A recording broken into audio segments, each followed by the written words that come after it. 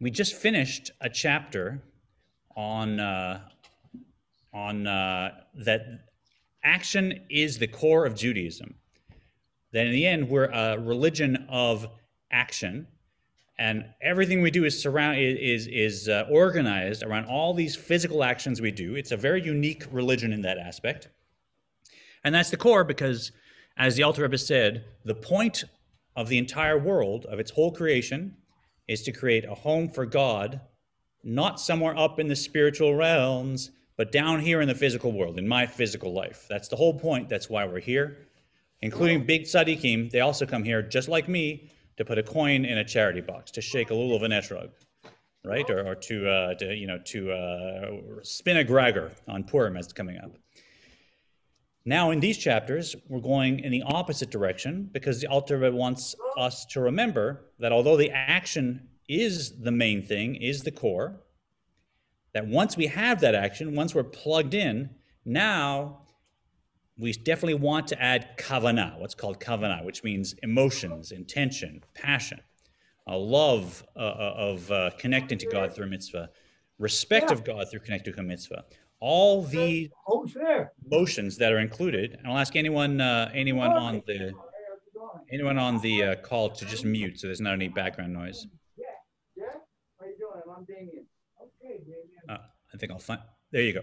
So anyone, anytime we do a mitzvah, once we're plugged in, now we want to have emotions. We want to have uh, feelings that allow that mitzvah to elevate and elevate and as we'll see, and as we in fact learned in our meditation system, the, the long short path, the emotions with which we do a mitzvah, the kavanah, the passion, functions as wings that allow the mitzvah to elevate to higher and higher spiritual worlds. And we're going to refine that technique of elevating the world around you by elevating your mitzvahs in the next few chapters. The main metaphor the Alter Rebbe is using is that of body and soul. Body and soul. So any questions on Facebook yet? Let me know. So we know that when we do a physical mitzvah, we call that the body of the mitzvah. So say I am, uh, say I am uh, uh, cutting challah with a blessing on Shabbat. The body of the mitzvah is actually that physical bread that I'm cutting and eating. It's even uh, the speech that I'm saying, the physical speech now, I could be distracted in the middle of seven things and I could quickly do the blessing, you know, just having basic basic intention in mind that I'm blessing bread for Shabbat as a Jew. And that's the mitzvah and it's done. But that's going to be just a mitzvah with a body. If I want to add soul to that mitzvah, that's where I'm going to add love and fear that I generate in my meditative practice. And that will enhance the body of that mitzvah with a soul. And of course, we know in life, a body you have to have it to live a life, but a body without a soul is uh, is missing a lot. Uh, one of the great masters of this tradition said uh, that although a mitzvah done without kavanah does make a home for God here in the lowest realms, if you do it without uh, kavanah, it really is uh, a dark home, so to speak. It's not a, a beautiful lit home. So once we create that home with the mitzvah, we want to light up that home with the light of all of our kavanah. Now, I want to go over uh, what we introduced last week because this this uh, chapter can be a little confusing. So I want to pull up my. Uh, I want to pull up. I just lost track of a wonderful Google presentation. Let me let me pull it up again. Okay, I'm pulling up. Here we are.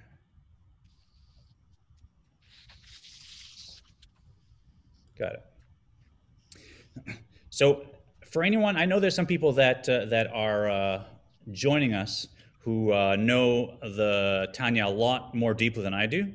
And also, as we go through this chapter, you'll probably look back on how I'm going to explain this coming chapter as an oversimplification, where it doesn't look right based on some of the conversations coming up, and it's true. So for anyone who's watching, uh, I'm so glad you're here who's uh, very knowledgeable about the Tanya. I'd like to present a real oversimplification of the discussion of contraction versus expansion uh, and concealment uh, and revelation uh, and light and essence and God's will.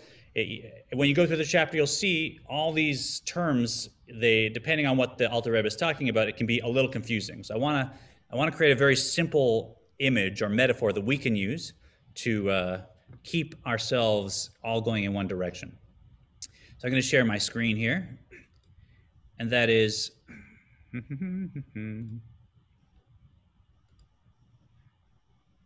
Beautiful. I assume you can see this now, mitzvah versus kavanah. Everyone can see that? Nod your head if you can. Yeah? Good. Oh, there it is. so, on the one hand, in the world, it's concealed that the world is being created by God everywhere all the time. And that's true in the lowest worlds, and even to some sense in the spiritual worlds. God's essence is hidden in all those worlds. There, God's, hi Linda, welcome. So when I look at anything in the physical world, I see just a microphone, just a computer, just a building, just a tree. And God's essence is completely hidden from me. We're going to call that hester panim, hiding God's face. So even when you look at a person, you could think the person is just a living being that's existing of its own, and it's hidden that that person is actually something God is creating. When it comes to mitzvahs, it's exactly the opposite. Whereas everything in the physical world certainly has God's face, God's essence hidden completely, in a mitzvah, as we learned, that is completely transparent.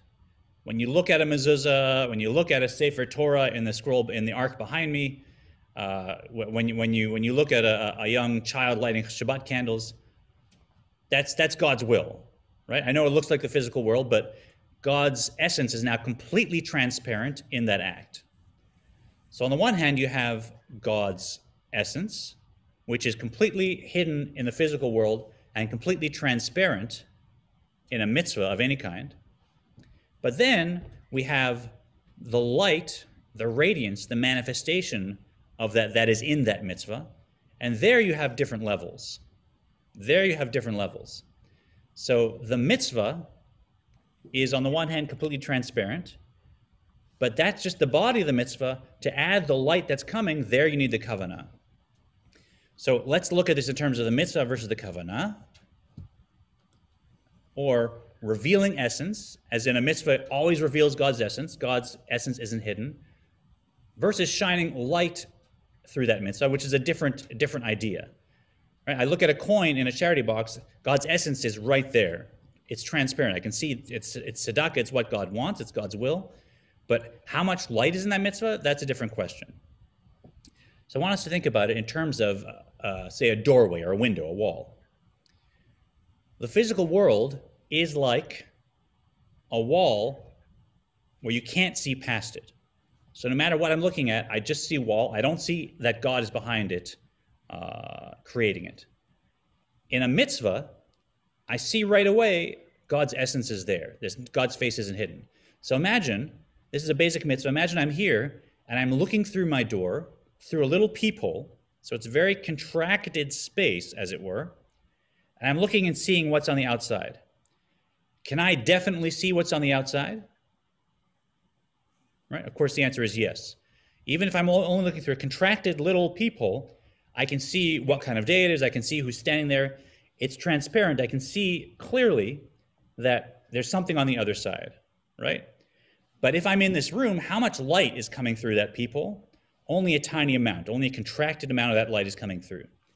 That is what a mitzvah is without any kavanah yes, it's transparent. You look at it, you can, if you look at it carefully, and you can even go smaller, you can use a microscope if you like, with a, even a little microscopic little piece I'm looking at. But whatever it is, it's transparent. I can see what's on the other side, and it's God, God's essence. What if I add a little kavanah?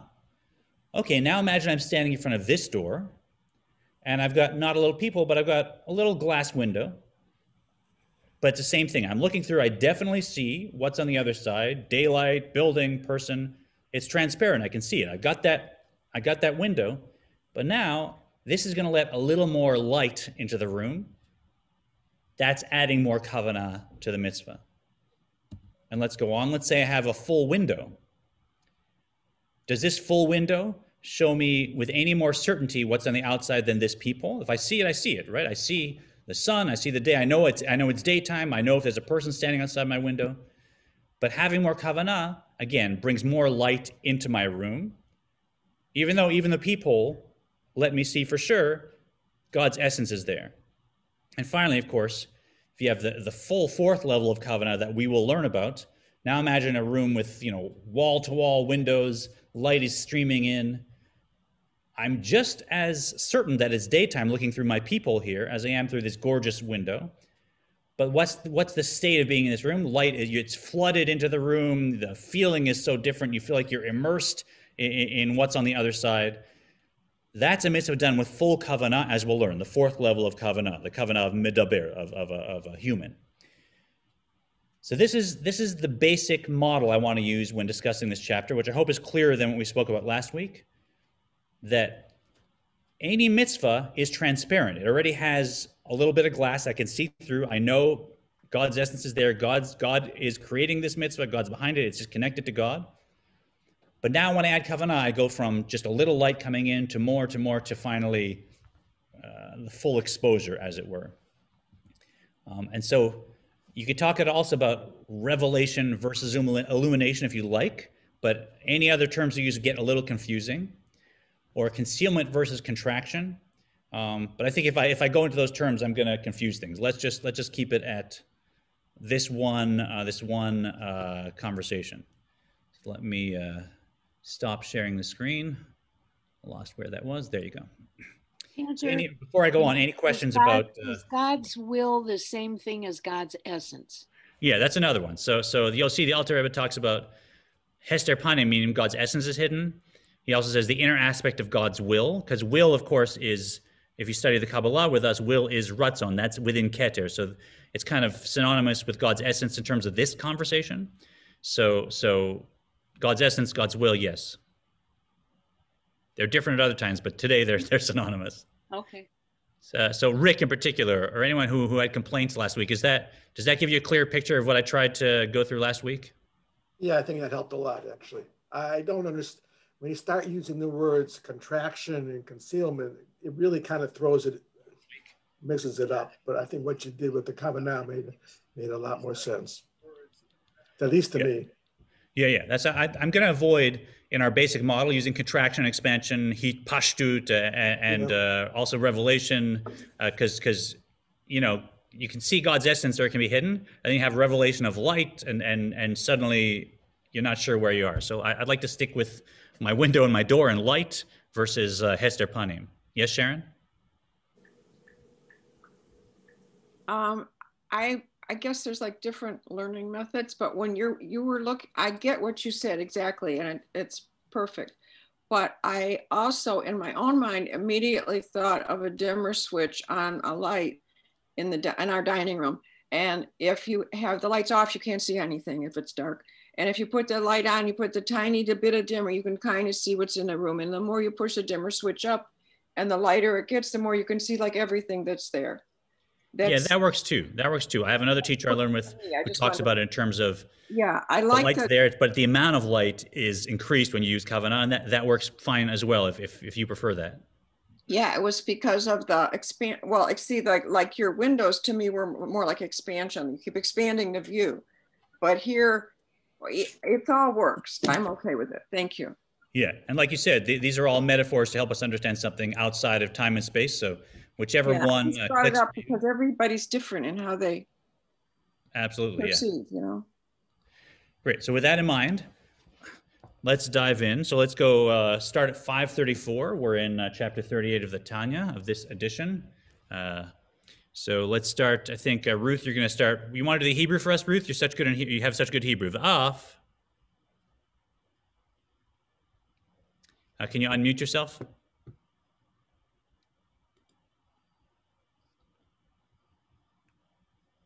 So Ruth, I'm not sure. Uh, I'm not sure if you unmuted yourself. We need you to unmute.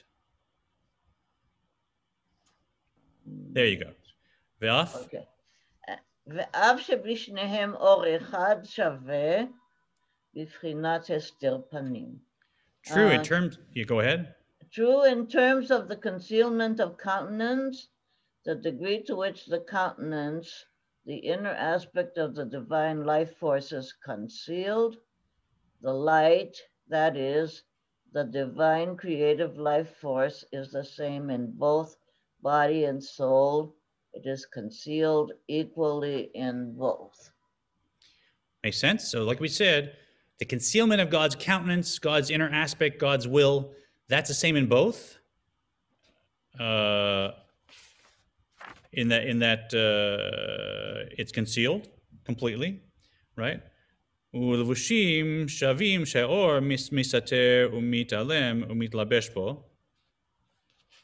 Uh, the garment in which the light hides, conceals, and clothes itself are identical in body and soul. Right. So here we're talking about here we're talking about anything in the physical world. Its energy comes through either klipas noga or the three impure klipot. It has a soul and it has a body, but God's essence is hidden in the soul and the body right? You, you can't, it's, you wouldn't know that God's creating the soul of a tree or the body of a tree. You think it, it has its own independent soul, its own independent body. There's no, it's completely hidden in terms of Hester Panim and God's essence. And let's go uh, with Maxine next. Hem me'olam hazeh mistater b'shaveh ha'or v'chayut shemeruach piv yitbarach. For both body and soul are of this world where throughout the world and all its creatures, spiritual as well as physical, the light and life force issuing from the breath of God's mouth are equally concealed. I got a little confused on this line. I spoke to a teacher, and he said to me, "Yeah, the Alter Rebbe is using the quote, the breath of God's mouth, but he's really talking about speech, as in you talk about, you know, the breath of someone's mouth is kind of alluding to their speech. So he's not talking about the breath, the breath specifically that was blown into the human soul that's different than speech. He's really talking about speech in general, and the breath of God's mouth it also means speech." Right, so everything everything comes from God speaking, and and that source is equally concealed in everything. בבחינת הסתר פנים וירידת המדרגות בהשתלשלות העולמות ממדרגה למדרגה בצמצומים רבים ועצומים. a concealment of the countenance and by the descent of the life force from level to level by means of numerous powerful tzimtzumim contractions through the various levels constituting the chain-like succession of worlds. Finally, clothing itself in Kalipa Noga in order to give light to the totality of this material world. So hi to uh, hi to uh, Cindy and Cheryl and Susan watching on Facebook. You can definitely write comments here, and we will uh, we will get you into the conversation. And you see here already gets a little confusing because now we talked about tzimtzumim contractions in terms of how God's essence is hidden, whereas we talk also about tzimtzumim being how much of the light is able to come in. So, so whenever you learn Kabbalah and Hasidus, you'll notice depending on what you're talking about, a word means one thing or another thing. It can be a little confusing. So, let's let's not let's not uh, pick apart the word. Let's stick with our uh, Hester Panim versus uh, shining light as our model. Uh, like fine clothing stuff in the Klipa Noga. So everything comes through the Klipa Noga or the three impure Klipot, becomes physical world, and God's essence that's creating it is totally hidden and it goes through the categories, right? Dehayinu kol dvarim hamutarim sheba'olam hazeh mimena al yada mushpim dvarim hatimeim ki hi b'chinat kanizkar la'el. This means one, all things of this world that are permitted and pure, which receive their vitality directly via Klipa Noga, and from and through Klipa Noga evolves. Two, all impure, forbidden things, which derive their vitality from the three impure Klipa from the three impure klipa, yet their vitality too stems from noga, since it is intermediary level between holiness, which all life originates, and the three impure klipa, as mentioned above. So for those who've been here from the beginning, we got klipa noga, which is uh, the level of shell of reality, the external facade of reality that has some godly light mixed in it, and we Jews work with that and elevate that spark, that light back up. And also three impure put, which is just complete uh, byproduct. There's no there's no functional purpose within the Jewish soul system for those three impure klipot, No normative uh, way to use it. So it applies to all of that. The whole physical world, whichever one of the shells it comes through, the light is completely hidden from uh, light is completely hidden from us when we're looking at it. Who's got those chimes going on? There you go. Okay. Now he's going to bring in a second metaphor that we're going to use uh, to understand better this idea of a soul and a body of a mitzvah, and also to learn and categorize which level we can attain when we are doing a mitzvah with our kavanah, and how much how much good it does in the world around us. This metaphor uses the four categories of beings that are in the world. And the reason there's four categories of beings is because everything stems from God. God's most transcendent name has four letters. So everything in the world can be divided into four categories in one way or another because it comes out of that structure. And the four categories of living things, sorry, the four categories of existing things in the world are domem, domem, which means inanimate, a stone or, or uh, a log, right? Tzomeach, which means growing things, a flower, a, a live tree, a leaf. Chai, which means animal life. So now you're talking about uh, bugs, alligators, birds, etc. And then midaber, or midaber, right? Which is humanity. So the speaking category. So there's four categories of things that exist, and everything fits into that. Uh, um, you know, a meteor going through space is uh, is domem. Uh, everything from a, a, a, blade of grass to a redwood is tzomeach. Any any any animal that that moves around, from I guess an amoeba to a, blue whale, that's chai. And then humanity, we have our own. Oh, Joyce is asking what page are we on? Uh, we are on page 537, the top of 537. Uh, and if you don't have the text, just email uh, Maya at temple israel.org and she'll send you uh, the text. So these four categories, when you look at them, yes, it's true. It's completely concealed that God's essence is creating them. No matter what I look at, from a, a pebble to a human being, it's I, would, I could think that it exists on its own. However, in terms of what did he say here, the contraction, contraction and expansion of the light and vitality that's in them, and again, the terms get a little a little mixed up, so let's not let's not uh, parse those.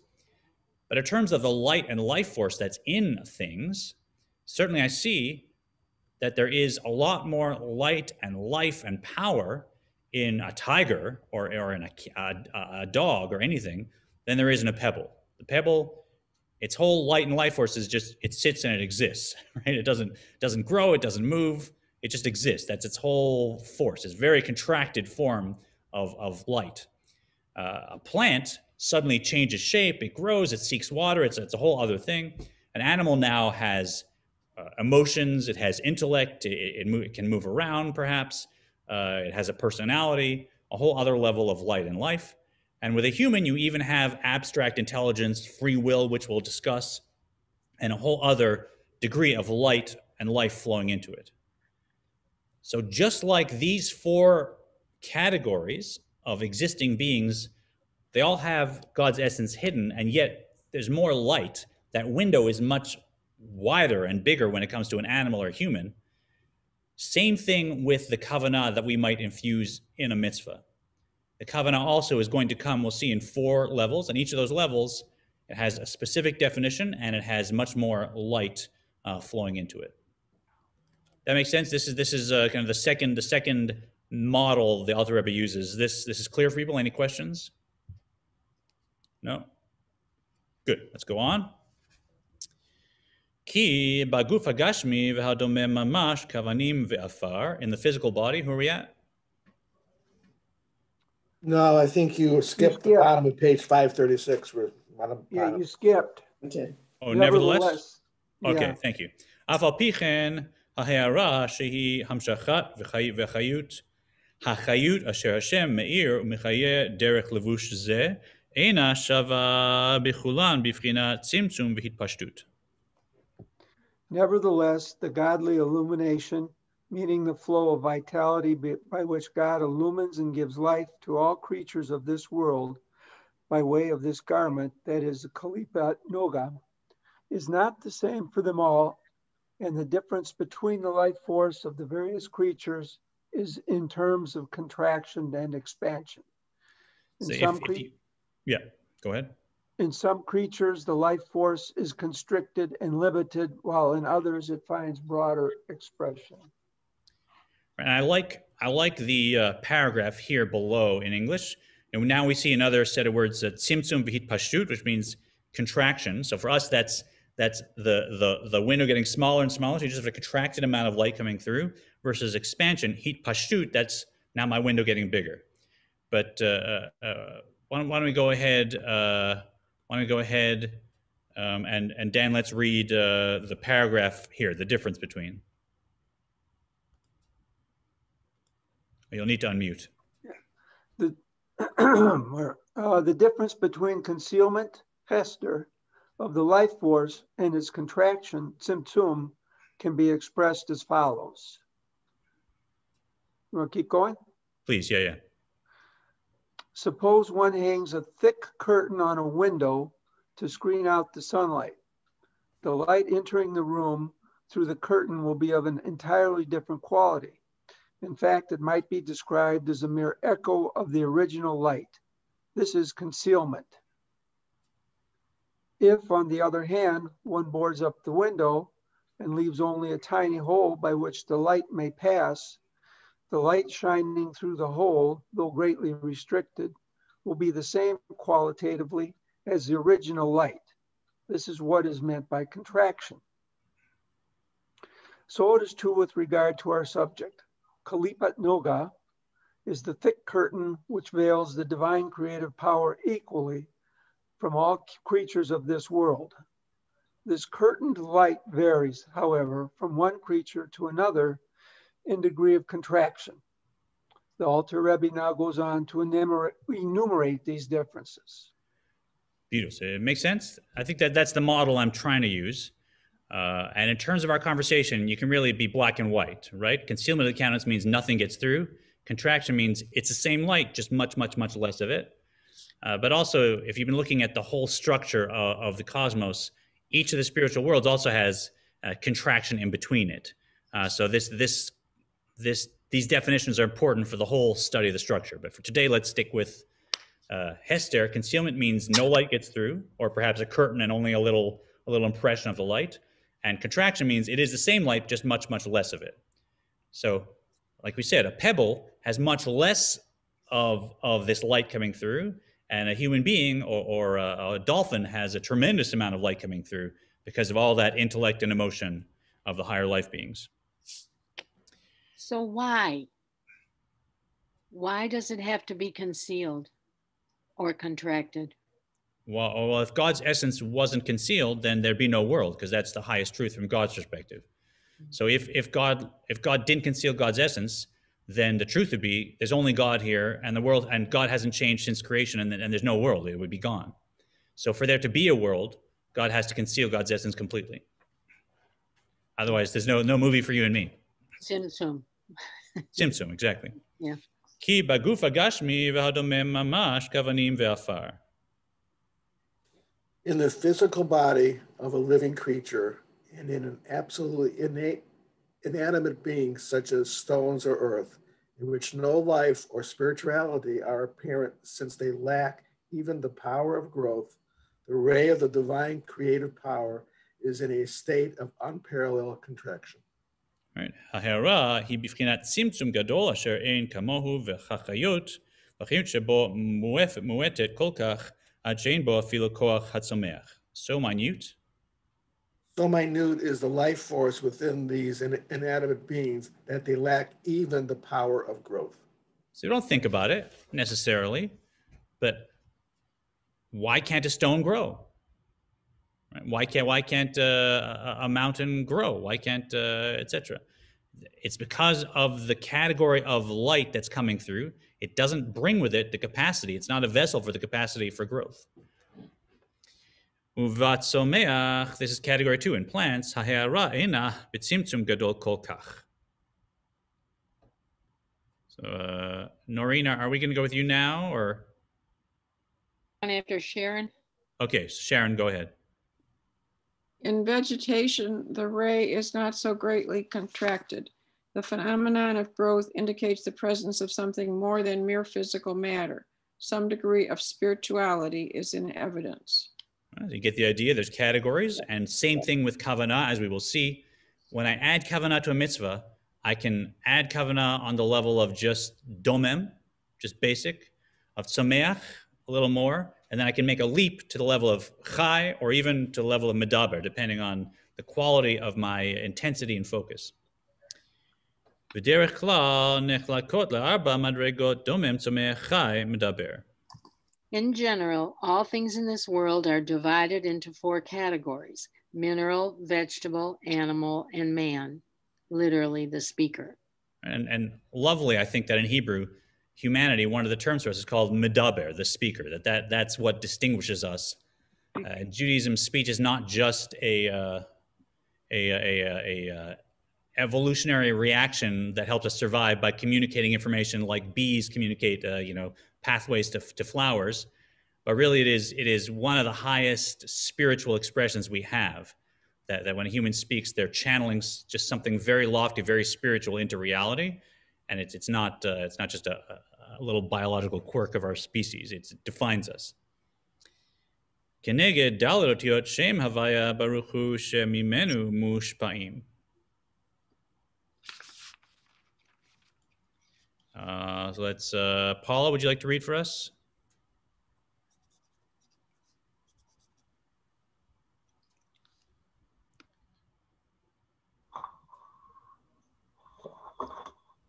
Now, just as the illumination and the flow of vitality found in the mineral and vegetable categories bears no comparison or likeness to the illumination and flow of vitality clothed in animals and man, since in the latter two categories it is clearly apparent that they are alive. I get such pleasure. I- As I said, Paula and everybody get such pleasure at how we all can just mute ourselves and unmute. Remember six months ago how hard Zoom was, and now we're all just we're all just naturals at it. That was beautiful, Paula. it's great. Look at us, right? So so the four letters of the divine name from which they're derived, that's all four categories. That's what's creating these four categories, and there's also the same four categories in uh, our mitzvot. And just as the illumination, the light, the size of the window, you can't compare a pebble to uh, to uh, a kangaroo or a human. Although, uh, here's a little side, אף שבכולן אור אחד שווה בבחינת הסתר פנים, ומלבש בלבוש אחד, בכולן שהוא לבוש נוגה. Although, uh, Joyce, do you want to do you want to read for us, or uh, should we go back to the top? We're at the Um, bottom of 538. I see it. Although in all four categories, the divine animating light is the same in terms of the quote concealment of countenance. In all four categories, the inner aspect of the divine light is concealed equally. And in all four categories, it is clothed in the same garment, name, namely the garment, veil of Noga. Hence, in none of these categories is it apparent that their vitality is actually godliness. Yet, despite this equality, the vitality of inanimate beings and plants is incomparable of that to that of animals and man. Similarly, should I keep going or Uh, let- let's stop there, right? So, although, as we've said a bunch of times, Hester Panim, the concealment of God's countenance, God's essence, God's most inner inner uh, creative force and will, is the same in all these categories. You can't compare the light that's flowing in. That's that's a, a massive window versus a little a little uh, slot in the door.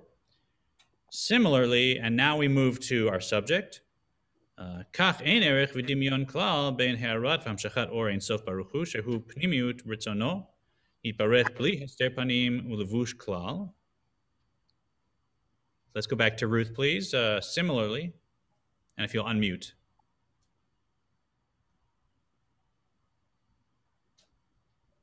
Yeah, Ruth, have you got the uh, unmute handy? You wanna you wanna unmute your uh, microphone.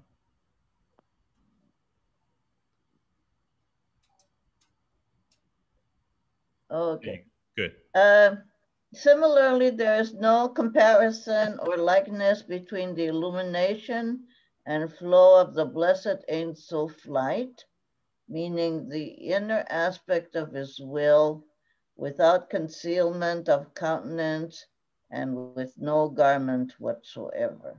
When? המהירה ומלובשת במצוות מעשיות mamash, וכן במצוות התליות בדיבור u'vitui. שפתיים בלי כוונה שהוא נחשב כמעשה ממש כנזכר לעיל. As it radiates in and is clothed within the mitzvot consisting of action, whether actual action or mitzvot performed through speech and verbal articulation, which is regarded as actual action as mentioned above, when performed without kavanah. Right, so that was a, that was a bit of a bracket there. So any action mitzvah, including the proto action mitzvah of speaking, right? We, remember we included that in in action.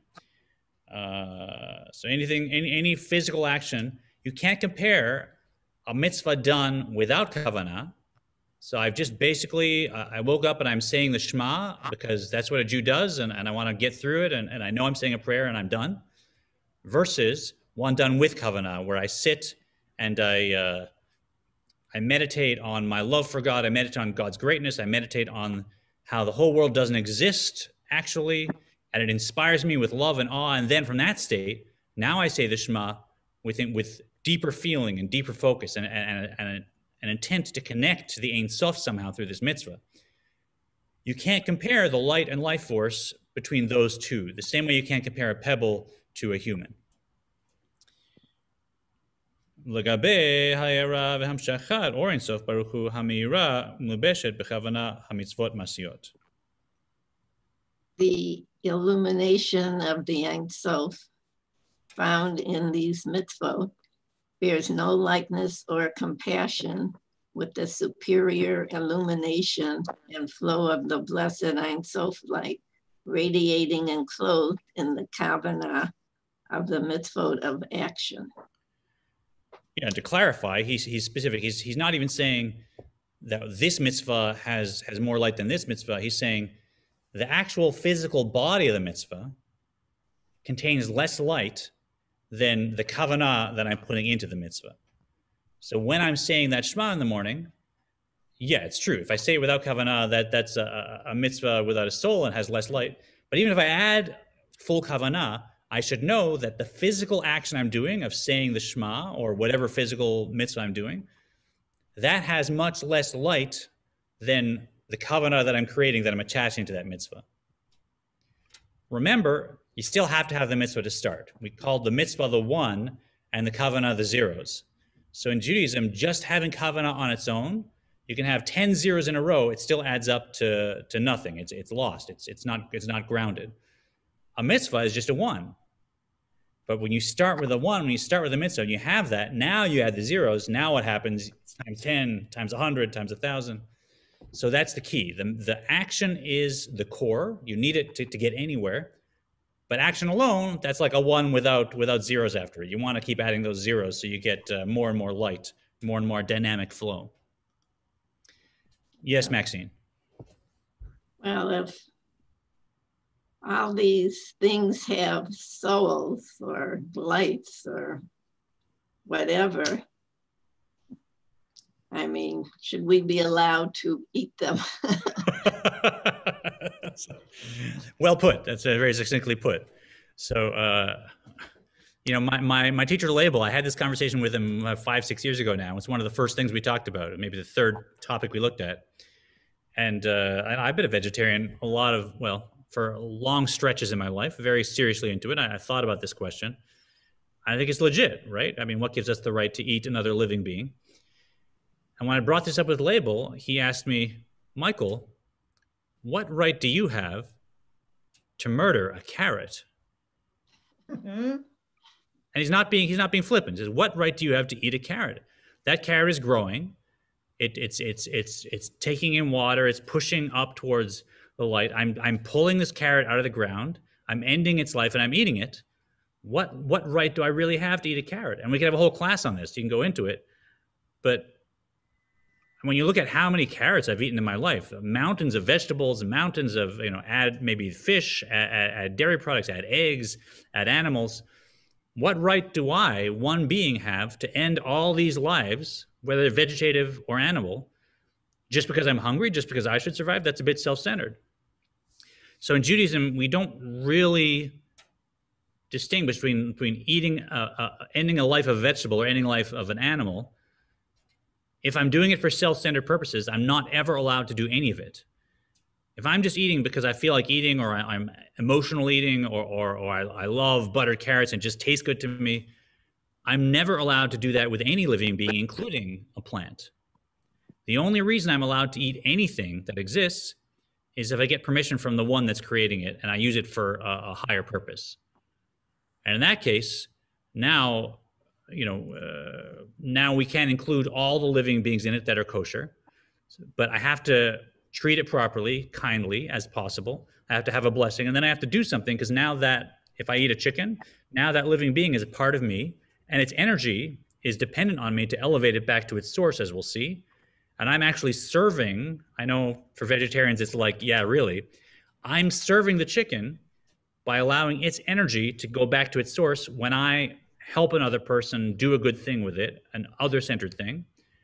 And God forbid, I eat the chicken and then I go and I do something self centered. Now I, have taken its energy and I've driven it back down into the klipa and I've harmed the chicken. So for us, the question is not can you eat an animal versus a plant? The question is can you eat anything?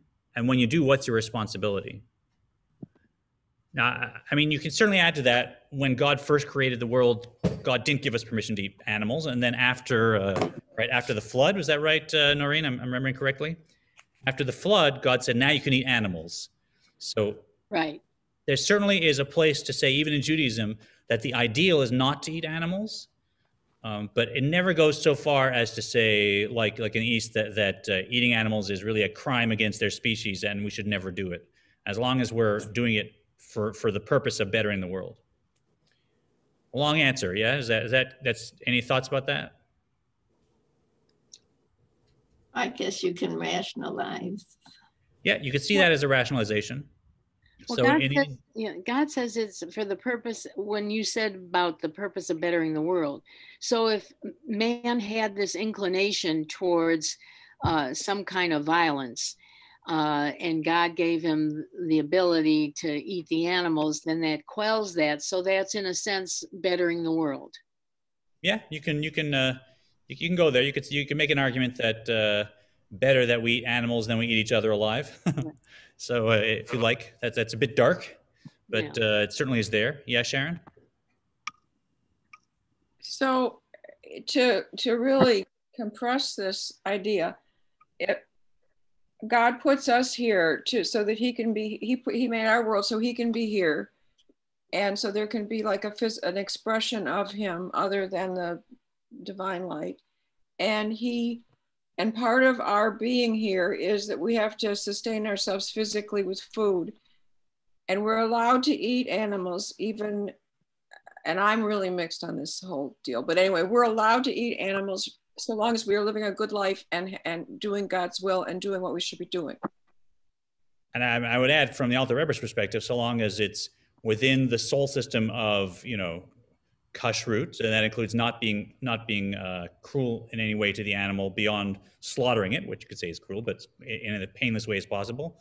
Also, saying a blessing, um, and then once that's done, now it's dynamic spiritual light. Now, being a good person, doing a mitzvah, helping another person, that actually elevates the light back to its source. So it's it's part of the spiritual life cycle of every living being on the planet for at some point to interact with a human to be elevated back to its source. you know, I mean, ethno, ethno, what is it? Uh, sociologists or, or uh, you know, academic people might look at that and say, well, that's, you know, how do you know? So ultimately, it comes down to who's your authority. That's what the Torah says.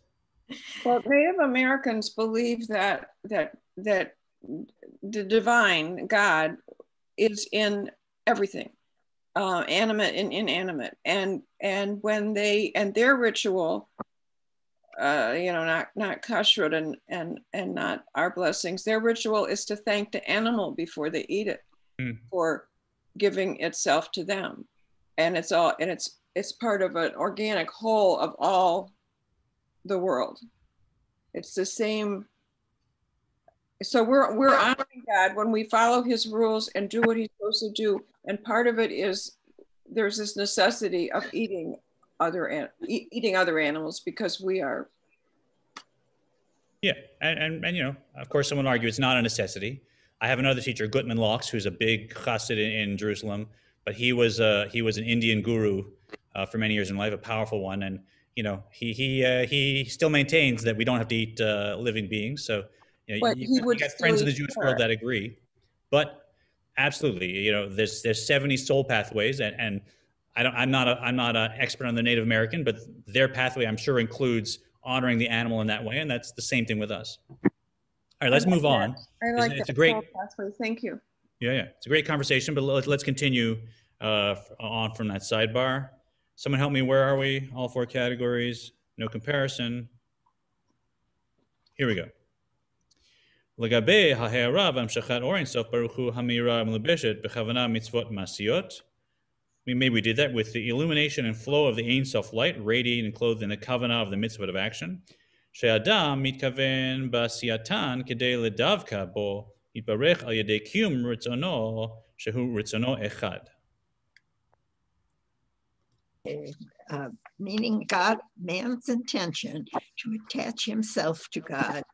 by fulfilling his will as expressed in the mitzvot, since he and his will are one.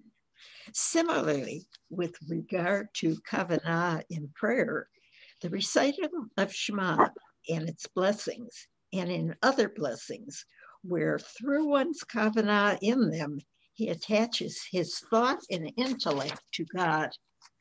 It is not that Yeah, let's so let's yeah let's let's save that for let's start again next week on the fifth of Nisan. Well, I'd like to do a little meditation to keep our keep our practice going. But that really is sometimes in, in our in our community we talk about kavana and it's a bit vague. It, it sort of means everything from focus to how I feel to the mood in the room to you know what what, what how I understand the thing. In Kabbalah, kavana is specifically the the kabbalistic emotions of our soul. So chesed and gevura being the be the main ones, and tiferet as well. So I want to have clear in my mind chesed especially loving kindness and gevura strength and respect. Those are the two emotions I want to have engaged. And then also in my mind, the intent should be I'm not just doing this mitzvah because I got myself excited about mitzvahs, right? I mean, you can pump yourself up to do anything. You go to a Michigan uh, Michigan State game, right? And you see a lot of kavanah, right? So, so a lot of excitement, but but uh, you know, what's the focus of that? Far be it for me to say anything negative about about Michigan and Michigan State football games, but it's you know, you work yourself up and you can get very excited about about uh, sports or about uh, food or about uh, any topic. That's part of being human is is being excited and having uh, passion. So it's not just that I happen to be excited. Maybe I just pump myself up. It's that I'm excited to connect to the one that gave us the mitzvahs. It's not about the commandment. It's about the, the relationship with the commander, the one who commanded. It's about using mitzvahs as a as a connection. So the kavanah always in Kabbalah wants to include the sense that I want to cleave, I want to bond, I want to have a relationship with the Ein Sof. And this is the only way. I'm a limited being. There's no way in the physical limited world to connect with the Ein Sof other than the channels the Ein Sof opens. And there, if I have clear in my mind, I'm doing this mitzvah to connect with God, and I love connecting with God, the creator of everything, who's so who's infinite. I have respect for God and, and how God wants me to treat living beings and everything else. Now, that's kavanah that the Alter Rebbe is talking about, and we'll learn later in this chapter how we can use that kavanah to elevate the mitzvahs and really uh, change the world. Thanks to everybody joining us on Facebook. We're going to do a quick meditation to finish. Amy, Francine, uh, if you want to join us, please find yourself in a comfortable position. It doesn't matter how you're seated. It doesn't matter. Uh, you can be lying or sitting, whatever's comfortable. Please uh, close your eyes if that's comfortable for you as well, so we can focus more on the inner. And let's uh, let our breathing open up to include all four stages of breath, just like the four letters in God's name. We have four stages in breath. Nice, slow, deep breaths. And join me as we breathe in for one, two, three, four. Stay expanded. Two, three, four. Breathing out. Two, three, four. And stay empty. Three, four. Back in. Two, three, four. Stay there. Release the breath. Two, three, four. Stay there. Keeping that rhythm. Try and breathe through your nose if you can. And as you're breathing, be sensitive to the difference in temperature on the spot under your nostrils. Perhaps cooler air as you're breathing in, then warmer air as you're breathing out on that spot under your nostril.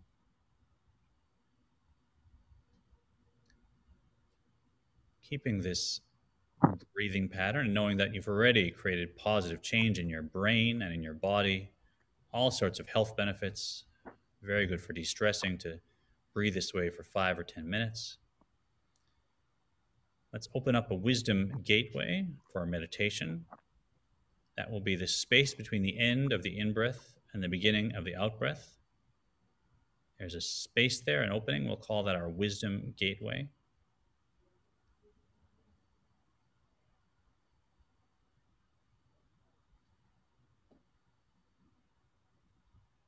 in that gateway, let's put, uh, let's say, let's have a door on that gateway and put a window in that door. See tremendous light streaming in from the other side of that window. And as you breathe, allow that window to grow bigger and bigger, so more and more light is pouring into your mind and your heart. Now let that window fill the entire space of the doorway. Now expand the gateway in your mind even more. See brighter, brighter light and more colors on the other side.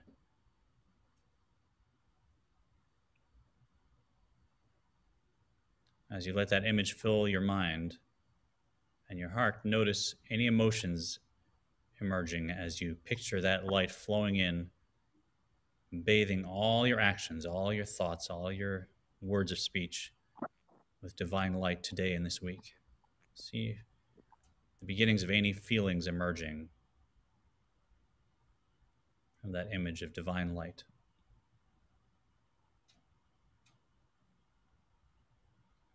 I'll invite you, feel free to open your eyes for a moment and pause uh, the YouTube or the Facebook if you're watching this after the fact.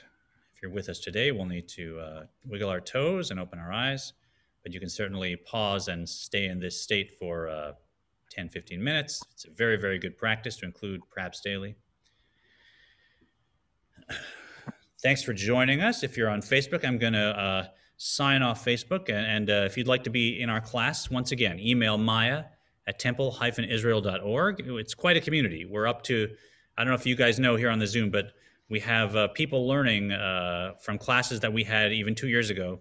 We have over a thousand hours every month of learning happening of Kabbalah being learned on our YouTube channel, of new students coming, reviewing the classes that we've had. So uh, if you'd like to join us, absolutely come and join this, this big community and email Maya at temple-israel.org. We'll get you here in the Zoom. But I'm going to go uh, so long on Facebook. Thanks for joining us. And uh, if you're on the Zoom, Hangout, and we'll continue the discussion, answer any questions.